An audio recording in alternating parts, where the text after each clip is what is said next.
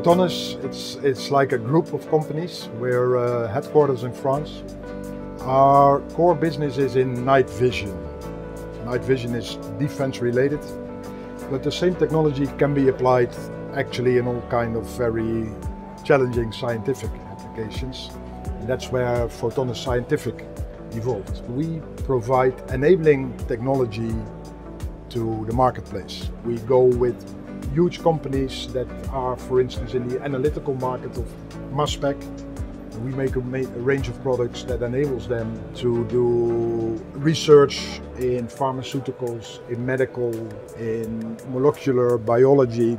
On the other side of the spectrum, we have research institutes, universities, typical small spin-off type of companies that are really, you know, the, the, the new Einsteins in a particular market segment.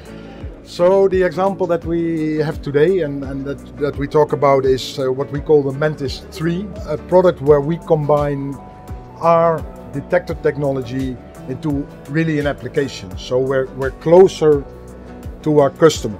So it is a part Photonis, typical Photonis technology, related and combined with a scientific camera uh, from the company Amsterdam Scientific, based in the Netherlands.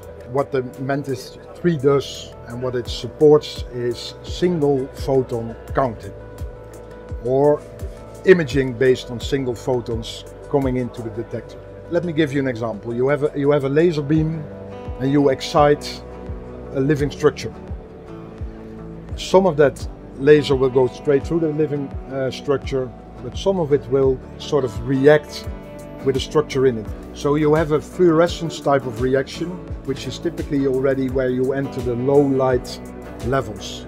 And that is where Photonis is. So the, the photons come in and we, with our technology, intensify them again. That is exactly the similarity what we do with night vision. So we intensify these incoming photons into something which gives more information and we send it through into the camera where they hit a sensor.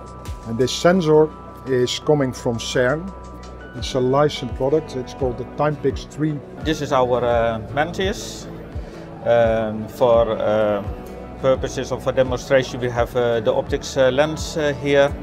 Here we have uh, our Cricket, and here is the camera with all the electronics for the readout.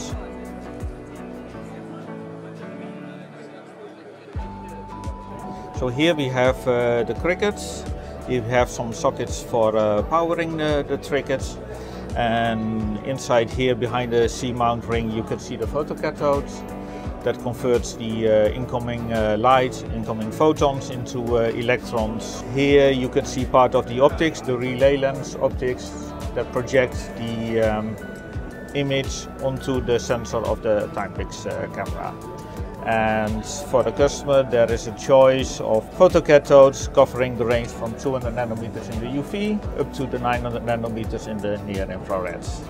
It is really the end user that really knows what to do with it. Again, we enable something, it's like we give them a tool set, but they know what to build. That makes uh, being in Photonis, uh, in this, this widespread of, of typical customers that we have, that's what makes it exciting.